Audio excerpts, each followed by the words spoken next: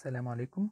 في الفيديو ده هنتكلم عن روزنبلات perceptron طيب آه، ده كان أول ظهور لكلمة ال perceptron وال perceptron ده هو simplest form من ال neural network يبقى ده أقل حاجة على تقدر تقول عليها إنها neural network ما ينفعش تقول إن ماكلوتش model neural network ليه؟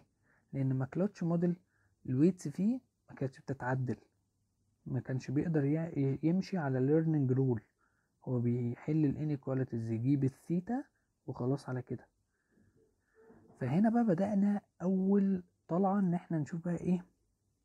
حكاية آه إن إحنا نغير في ال values بتاعة ال weight لحد ما نوصل لموديل منطقي. طيب وهو single layer network. هو بكل بساطة شكله عامل كده. الشكل العادي اللي إحنا متعودين عنه بتاع ال neuron. بس هو ليه اسمه perceptron علشان آه ال perceptron آه شغال بال signum activation function ده اللي بيميزه. يبقى هو ال perceptron كده كده neuron بس هو ال non-linear بيشتغل ب function واحدة بس اللي هي إيه؟ ال signum function فبيطلع يا positive 1 يا negative 1 يطلع بوزيتيف 1 لو السميشن بتاع دبليو إكس بلس بي أكبر من أو بيساوي ال zero ويطلع negative 1 لو ال summation ده أصغر من ال zero بيخش له أي عدد من ال inputs عادي أي عدد من ال X ات ويتعمل عليه ال sum of product عادي خالص. وبعدين activation اللي هي بتاعته اللي هي ال signum يطلع ال output يبقى الاختلاف هنا ما بينه وما بين ماكلوتش في أول حاجة آه ال input ده بياخد آه عدد input عادي لحد X M عادي مفيش مشكلة. تاني حاجة ال activation function هو هنا شغال بال signum فهو شغال ب non-linear activation function طيب هنتكلم بقى عن إيه؟ ال convergence algorithm بتاعته. إحنا محتاجين نجيب آه ال weight اللي بت satisfy two inequalities دول إن هو ال W transpose X تكون أكبر من ال zero لأي input vector X بي belong ل class 1 وإن ال W transpose X أصغر من أو بتساوي ال zero لأي vector بي belong ل class تاني. يبقى ده بيكون هدفنا دايما وإحنا شغالين عايزين ن converge نقف لما نجيب الدبليوز اللي بتحقق ال two inequalities دي. بس إحنا مش محتاجين أكتر من كده. طيب. لو ال problem linearly separable كنا اتكلمنا على حكاية ال linear separable دي. يبقى نقدر نقول إن هو هي converge بعد n iterations. يعني بنكون ضامنين إن هو كده كده هي converge. طالما إن ال problem linear separable طيب. هنا بنتكلم تاني على حكاية إيه؟ إن ال net signal اللي هو السميشن دبليو الاكس بيقولك هنا إن أنت ممكن آه تعتبر النت ده بطريقة تانية تجيبه بطريقة تانية يعني باستخدام ال vector rules إن أنت تجيبه كإيه؟ ك inner product ما بين آه ال W وال X ال inner product في ال vectors ركاب عليه يعني inner product يعني إن أنت بتجيب norm ال vector الأولاني. times norm ال vector التاني. في cosine alpha where إن الالفا دي هي بتكون ال angle ما بين ال two vectors يعني من الآخر لو ما ادالكش هنا المسألة الاكس 1 إكس 2 إكس 3 والحاجات دي واضحة إن دي ال Xات ودي الدبليوز واداها لك ك vectors هتحل بال rule التاني ده اللي هو بتاع النت بتساوي norm W في norm X في cosine alpha طيب ال error في ال في ال correction learning rule اللي إحنا شغالين عليها إحنا قلنا طبعا بما إن ال weights هتتغير فده معناه إن إحنا شغالين ب learning algorithm ال error هنا عنده ثلاث حالات. إيه هما ال three cases دول؟ يا ال error ب zero فساعتها أنا مش هعدل في ال weight يا ال error ب two يا ال error ب negative two طب ثانية واحدة وإحنا بنحسب ال error أصلا إزاي؟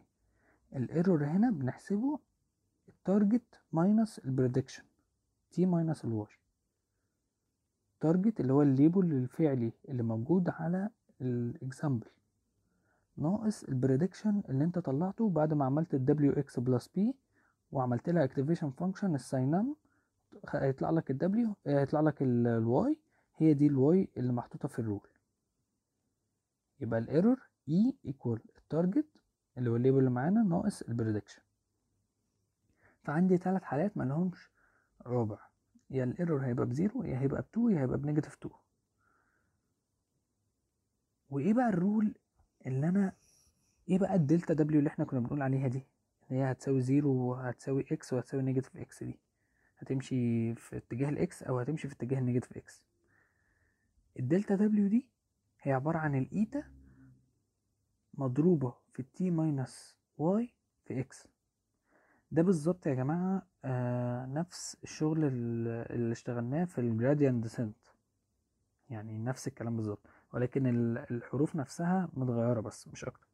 يعني ال eta دي اللي هي اللي شبه ال n شوية دي learning rate. ال T minus Y ده ال error ال error بتاعنا. ده الكلام ده هيتضرب في ال X. وغير إن ال X ده ده ال input بتاعنا. يبقى ده كده بتجيب إيه؟ delta ال W دي كده ال value اللي هتعدل بيها على ال weight يعني أنت كل اللي أنت هتعمله هتزود على كل weight ال delta W بتاعته. طيب هنتكلم دلوقتي على ال learning rate وهناخد examples بعد كده. نشوف المسائل بتتحل إزاي. ال learning rate اللي هي ال eta اللي إحنا قلنا عليها هي بتكون ما بين ال zero تكون أكبر من ال zero واصغر من أو بتساوي 1 لو ال learning rate بتاعتك صغيرة جدا ده هيبطئ ال convergence هتحتاج epochs كتير علشان توصل لل weights الصح.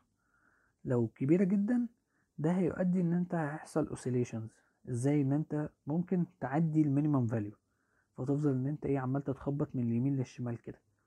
عمال تتخبط ما بين إيه ال maximums ومش عارف تنزل ت converge عند ال minimum طيب آه هنا دي ال algorithm بتاعت إيه ال perceptron أنت بتبدأ ب random weights وبعدين تفضل شغال بقى. تمسك كل training example X وال target بتاعه اللي هو ال label.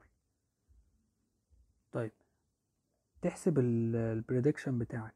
إزاي؟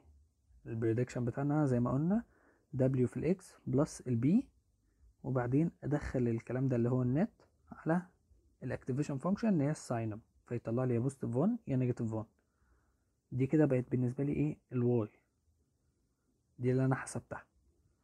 طيب تقارن بقى. هل ال Y دي بتساوي ال T of i هل ال Y ساوت ال target بتاعنا ساوت ال label؟ لو لأ أبدأ أخش أعمل update لل weight إزاي؟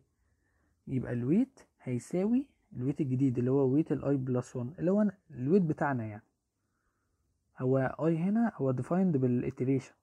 فإحنا نسيبنا من الحكاية دي. هو عموما هتعدل في ال weight فال weight هيساوي ال weight نفسه زائد ال learning rate مضروبة في ال error اللي هو ال difference ما بين ال target وال output اللي طلع في ال X اللي هي ال input vector ده ال update العادي جدا اللي إحنا بنعمله وعارفينه بتاع إيه؟ التعديل على ال weights.